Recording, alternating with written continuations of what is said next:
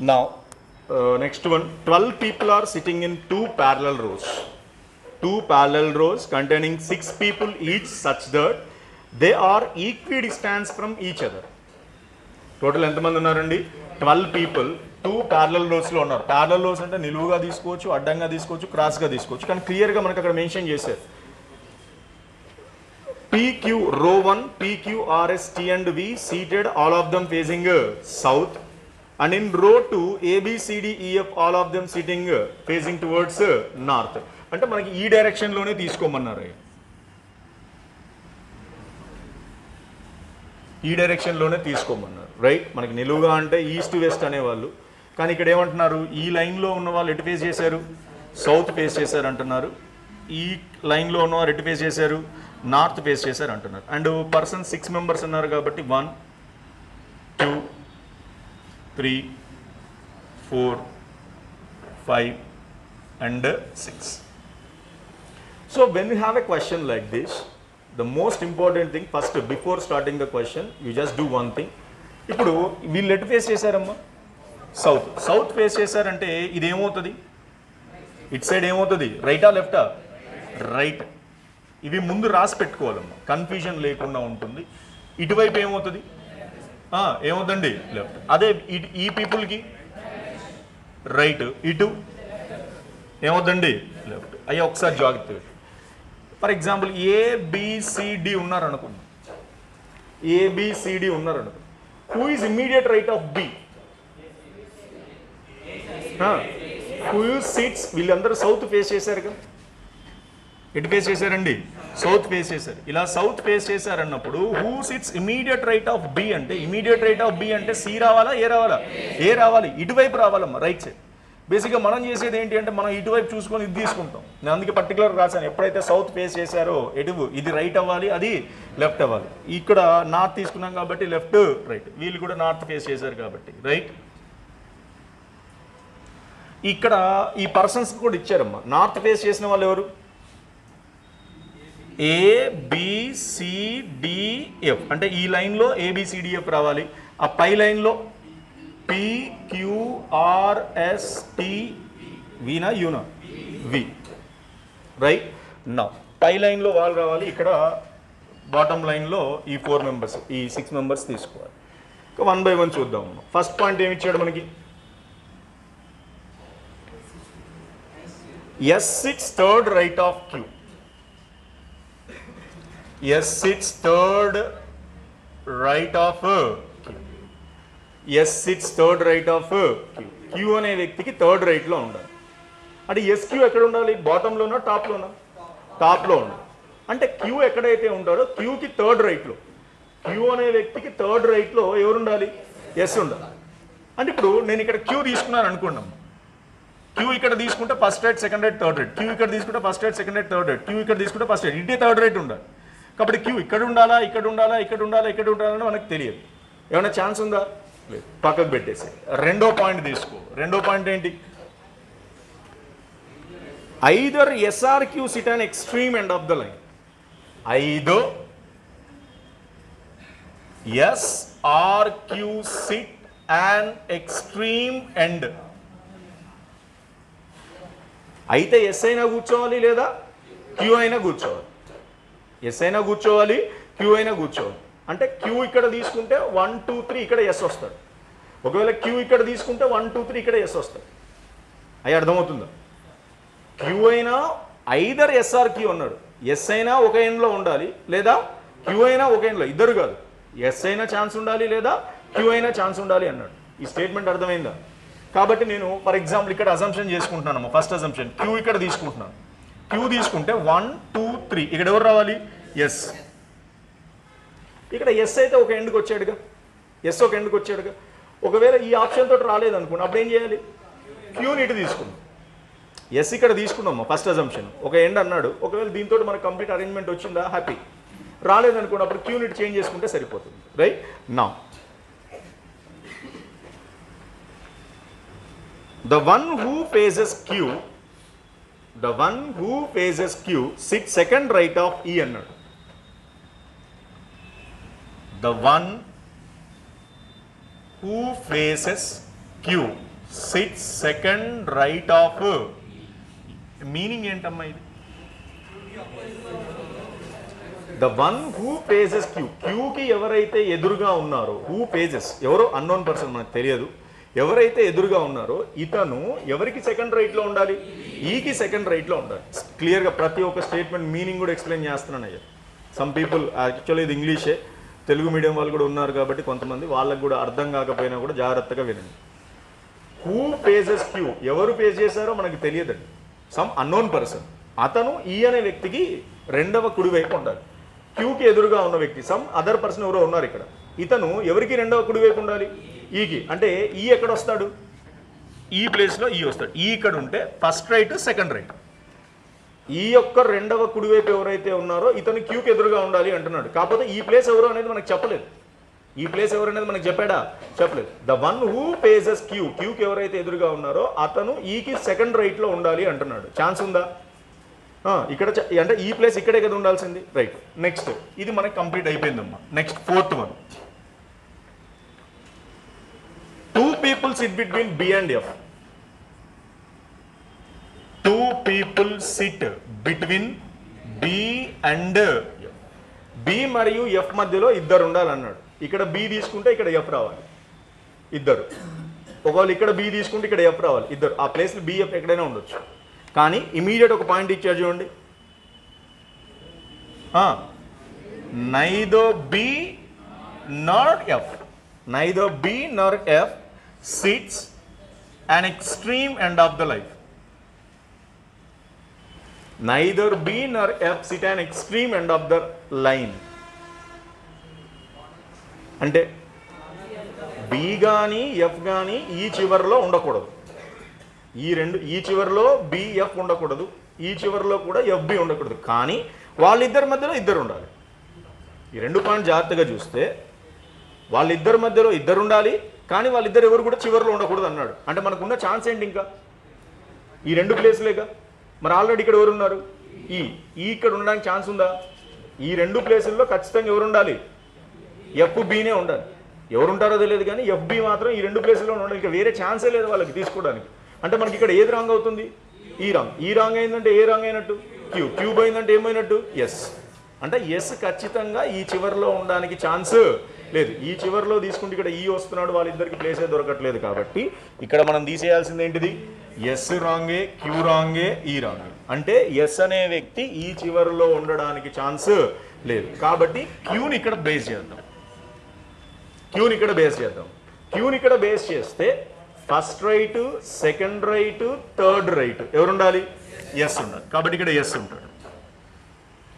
క్యూకి ఎదురుగా ఎవరైతే ఉన్నారో ఇతను ఎవరికి సెకండ్ రైట్ ఈ అనే వ్యక్తికి సెకండ్ రైట్ కాబట్టి ఇక్కడ ఎవరు తీసుకుంటున్నాను? ఈ తీసుకుంటాను ఈ తీసుకుంటే first right second right A అర్థమవుతుందా? అండ్ ఇక్కడ ఈ రెండు ప్లేస్లు ఎవరు ఉండాలి?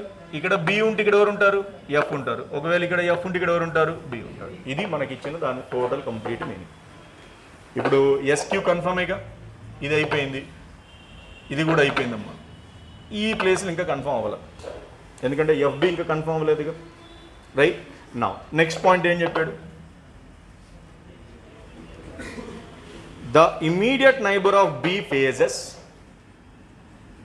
immediate neighbour of B faces person who sits third left of ఏమర్థమైంది అది? The immediate neighbour of B బీని ఆనుకొని ఉన్న వ్యక్తి ఎవరైతే ఉన్నారో ఆ వ్యక్తి ఎదురుగా కూర్చున్న వ్యక్తి పి అనే వ్యక్తికి మూడవ ఎడం వైపు కలడు. పి అనే వ్యక్తికి మూడవ ఎడం వైపు కలడు. బి ఇమీడియట్ నైబర్ అసలు బి కన్ఫర్మ్ అయ్యాడా? లేదు.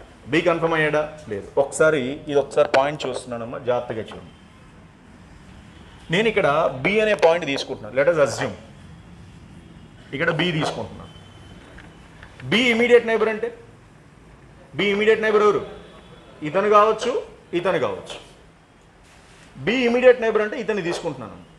ఇక్కడ క్వశ్చన్ ఏమంటున్నాడు అనేది జాగ్రత్తగా ఎస్పెషల్లీ ఆ స్టేట్మెంట్ ఒకటి అర్థమైతేనే ఇది అర్థమవుతుంది బి ఇమీడియట్ నైబర్ అంటే ఈ వ్యక్తి కావచ్చు ఈ వ్యక్తి కావచ్చు. B immediate neighbour faces. ఇక్కడ ఇమీడియట్ నైబర్ అంటే ఈ వ్యక్తిని తీసుకుంటున్నాను. ఈ వ్యక్తి ఎదురుగా నిలబడ్డ వ్యక్తి ఎవరికి థర్డ్ లెఫ్ట్లో ఉండాలి? పి అనే వ్యక్తికి థర్డ్ లెఫ్ట్లో ఉండాలి. అంటే వన్ టూ త్రీ. ఇక్కడ పి తీసుకుంటే ఇదే కదా లెఫ్ట్ సైడ్? లెఫ్ట్ ఇటే కదా? అంటే వన్ టూ త్రీ. అంటే పి ఇక్కడ రావాలి. అసలు ఛాన్స్ ఉందా? ఇక్కడ వరకే మనకి ఎండ్ అయిపోయింది. B immediate neighbour faces third left of P. P అనే వ్యక్తికి థర్డ్ లెఫ్ట్లో ఉండాలి. ఛాన్స్ ఉందా? పోనీ బి నైబర్ ఇతను అనుకుంటున్నాను బి నైబర్ ఇతను. ఇతను ఎవరికి పే చేశాడు? ఎస్. ఎస్ ఎవరికి థర్డ్ లెఫ్ట్లో ఉండాలి? ఎస్ ఎవరికి థర్డ్ లెఫ్ట్లో ఉండాలి? పి అనే వ్యక్తికి థర్డ్ లెఫ్ట్లో ఉండాలి. అంటే పి ఇక్కడ రావాలమ్మా. ఈ పాయింట్ దగ్గర పి వస్తే అప్పుడు first left second left third left అవుతుంది. మరి ఇక్కడ ఇంకో పాయింట్ ఉందా? లేదు. అంటే ఇక్కడ ఖచ్చితంగా ఎవరు ఉండడానికి ఛాన్స్ లేదు? ఎవరు ఉండడానికి ఛాన్స్ లేదు? బి ఉండడానికి ఛాన్స్ లేదు. అంటే ఇక్కడ ఎవరు ఉండాలి? ఎఫ్ ఉండాలి. ఇక్కడ ఎవరు ఉండాలి? బి ఉండాలి. ఎవరు ఉండాలి అక్కడ? So the meaning of the statement అంటే ఈ స్టేట్మెంట్ తోటి మనకి టూ ప్లేసెస్ కన్ఫర్మ్ అయినాయి. ఏంటది? B and B immediate neighbours అంటే ఇతను కావచ్చు ఇతను కావచ్చు. నేను ఇది తీసుకుంటున్నాను ఒకవేళ బి ఇమీడియట్ నైబర్ ఇతను ఎవరికి పే చేశాడు? క్యూ ఇతను ఎవరికి థర్డ్ లెఫ్ట్లో ఉండాలి? పి అనే వ్యక్తికి థర్డ్ లెఫ్ట్లో ఉండాలి మరి ఎవరికి థర్డ్ లెఫ్ట్లో ఉన్నారు? ఎస్కి వన్ టూ త్రీ కాబట్టి ఇతను నైబర్ అవడానికి ఛాన్స్ ఉందా? లేదు. కాబట్టి బీకి ఇమీడియట్ నైబర్ ఇతన్ని తీసుకుంటాను ప్రతి ఒక్క ప్లేస్ చెక్ చేశాను ఇక్కడ చెక్ చేశాను రాలేదు. ఇక్కడ చెక్ చేసాం రాలా. ఇక్కడ చెక్ చేసాం రాలా. ఇక్కడ తీసుకుంటున్నాను బి ఇమీడియట్ నైబర్ ఎవరు? ఈ ఇతను ఎవరికి ఫేస్ చేశాడో ఇతను ఎవరికి థర్డ్ లెఫ్ట్లో ఉండాలి? పి అనే వ్యక్తికి. వన్ టూ త్రీ అంటే ఇక్కడ ఎవరు రావాలి నీకు? పి అంటే ఇది ప్లేస్ పి అవుతుంది. పి అనే వ్యక్తి థర్డ్ లెఫ్ట్ ఎవరైతే ఉన్నారో ఇతను బి నైబర్కి ఫేస్ చేశాడు అంటున్నాడు రివర్స్లో పి అనే వ్యక్తి యొక్క థర్డ్ లెఫ్ట్ ఎవరైతే థర్డ్ లెఫ్ట్ అంటే ఇటు రావాలి లెఫ్ట్. సౌత్ ఫేస్ చేశారు కాబట్టి థర్డ్ లెఫ్ట్ ఎవరైతే ఉంటారో సమ్ అన్నోన్ పర్సన్ ఎవరికి ఫేస్ చేశాడు? ఈకి ఈ అనే వ్యక్తి బీకి నైబర్ ఉండాలి అంటున్నాడు. అంటే ఈ ఒక్క స్టేట్మెంట్ తోటి మనకి ఎన్ని ప్లేసులు కన్ఫర్మ్ అయ్యాయి? బిఎఫ్ పి కాబట్టి ఈ పాయింట్స్ కూడా మీకు క్లియర్ అయినట్టే. అర్థమైందా? మొత్తం ఇందులో ఎంతమంది? సిక్స్ మెంబర్స్ ఇక్కడ సిక్స్ మెంబర్స్ నెక్స్ట్ పాయింట్ ఏంటండి? R and T are immediate neighbours of each other R and T are neighbours అంటున్నాడు R and T are neighbours అంటే ఎక్కడ వస్తారు? ఇక్కడ ఛాన్స్ ఉందా? లేదు. అంటే ఇక్కడ ఆర్ ఇక్కడ ఎవరు రావాలి? టీ ఇక్కడ ఆర్ ఇక్కడ ఎవరు రావాలి? టీ ఎక్కడ వస్తారని తెలియదు. ఇప్పుడు మొత్తం ఆరుగురిట్లో T Q R S T అంటే ఈ రెండిట్లోనైతే ఆర్ టీ కన్ఫర్మేగా ఇక్కడ ఎస్ అయిపోయింది క్యూ అయిపోయింది పి అయిపోయింది. మరి ఇక్కడ ఎవరు ఉంటారు ఎవరుంటారు? వి దాని గురించి ఇన్ఫర్మేషన్ కూడా అవసరం. Because only one person is remaining compulsory at arrange the person V వీని అక్కడ అరేంజ్ చేసుకోవచ్చు? అర్థమవుతుందా? Right next C sit second left of A C sits second left of A C sit second left of A ఏకి second లెఫ్ట్లో ఉండాలి. నేను ఇక్కడ A తీసుకుంటున్నాను. First left second left chance ఉందా? ఇక్కడ ఏ తీసుకుంటున్నాను. First left second left chance ఉంది. కాబట్టి డెఫినెట్గా ఇక్కడ ఎవరు ఉండాలి? A first left second left కాబట్టి C A B C E F ఒక వ్యక్తి రాలా? డి అంటే డెఫినెట్గా ఇక్కడ ఎవరు ఉండాలి? D this point also complete and now next T not faces immediate neighbour of D T not faces immediate neighbour of D T not faces the immediate neighbour of D అంటే డికి neighbour ఎవరైతే ఉన్నారో అతని ఎదురుగా ఎవరు లేరు? Tea లేడు. డికి neighbour ఎవరైతే ఉన్నారో అతని ఎదురుగా టీ లేడు అంటే ఎవరు ఉండాలి ఎవరు ఉండాలి this is the place of R and this is the place of T so this is the arrangement కాబట్టి డి నైబర్ బి బికి ఎదురుగా టీ ఉండకూడదు అన్నాడు కాబట్టి ఆరు ఆరు టీ కన్ఫర్మ్ అవుతాడు. రైట్ రాయండి అమ్మా.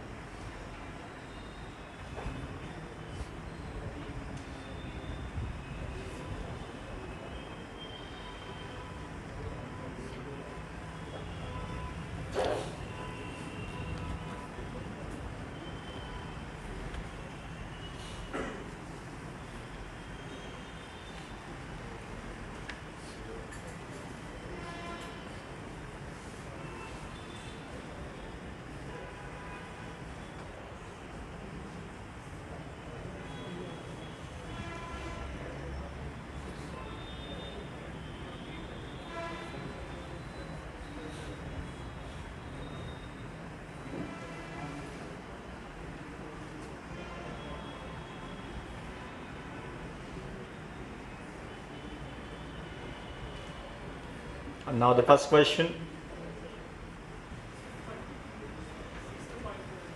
Sixth point right ఒకసారి జాగ్రత్తగా ఇక్కడ ఏమంటున్నాడు అని అంటే the immediate neighbour of B is the person who sits third left of P the immediate neighbour of B is the person who sits third left of P అంటే పికి మూడవ ఎడమ వైపు ఉన్న వ్యక్తి ఎదురుగా బి నైబర్ కూర్చోవాలి ఇక్కడ నుంచి తీసుకుంటే పి అనే వ్యక్తికి మూడవ ఎడమ వైపు ఎవరైతే ఉంటారో పి అనే వ్యక్తికి మూడవ ఎడమ వైపు ఎవరైతే కూర్చుంటారో ఆ వ్యక్తికి బి అనే నైబర్ కూర్చోవాలి ఎదురుగా.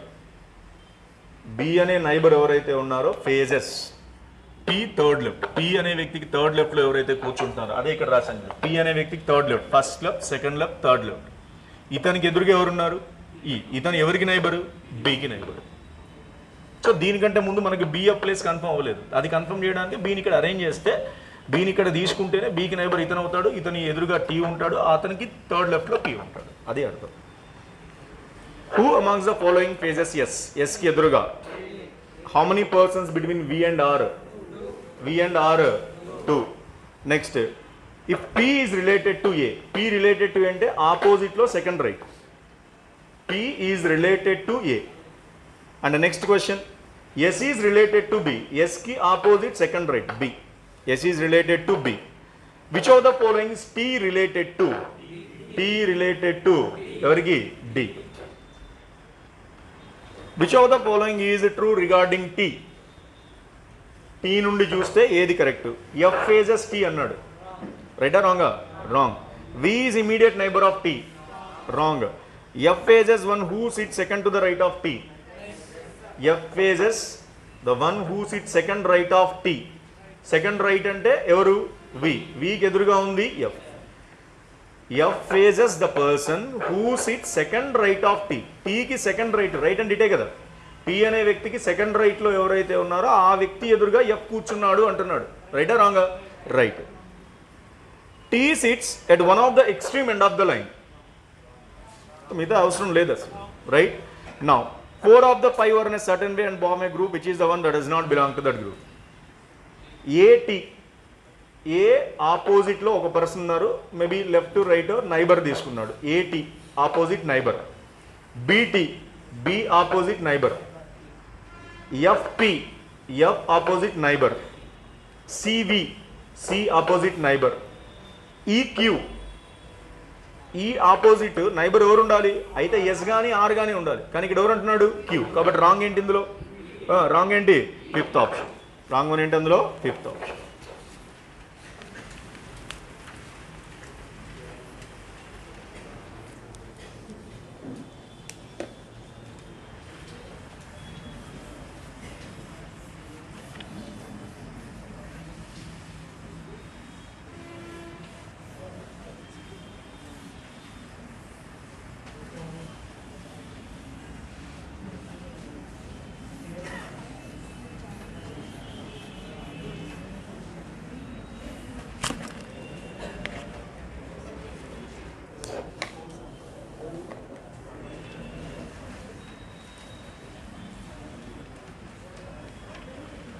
next question number thirty two to thirty